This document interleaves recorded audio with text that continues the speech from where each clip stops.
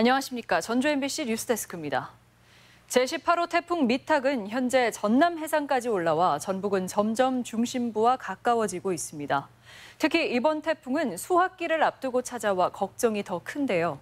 전주 천변에 나가 있는 취재 기자 연결합니다. 허현호 기자 상황 전해주시죠. 네, 이곳 전주천도 조금 전부터 태풍을 시감한 만큼 빗줄기가 점차 굵어지고 있습니다. 평소 1m도 안 되던 이곳 하천 수위도 30% 정도 물이 불어나 물살이 거세지고 있습니다. 바람도 점차 강해지고 있는 가운데 이곳 천변 주차장은 출입이 통제돼 주차된 차량이 빠져나오고 있습니다. 현재 전라북도 전역에 태풍주의보가 서해상에 태풍 경보가 내려진 가운데 군산과 부안, 고창 등 항포구에는 3천여 척 어, 어선에 발이 꽁꽁 묶였습니다.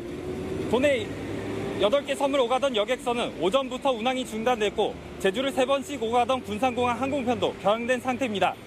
지리산 국립공원 등 도내 130개 산림 탐방로는 모두 통제됐고 바람이 초속 25m를 넘어가면 전북 지역의 모든 교량 통행도 제한됩니다. 내일 낮까지 도내 예상 강수량은 50에서 150mm로 지리산 등 산간 지역은 최대 300mm의 물폭탄이 쏟아지겠습니다. 국내 최대 곡창지대인 김제에는 벼 쓰러진 피해가 우려돼 각별한 주의가 요구됩니다. 무주와 장수 등 과수 농가도 이번 달 만생종 사과 수확을 앞두고 있어 우려가 큰 상황입니다. 고창 모양성제 등 지역 축제는 연기되거나 취소된 가운데 전라북도는 재난안전대책본부를 가동해 피해 상황을 예의주시하고 있습니다. 전라북도는 잠시 뒤인 밤 10시부터 태풍 중심부와 가까워져 오늘 자정이 이번 태풍의 최대 고비가 될 전망입니다.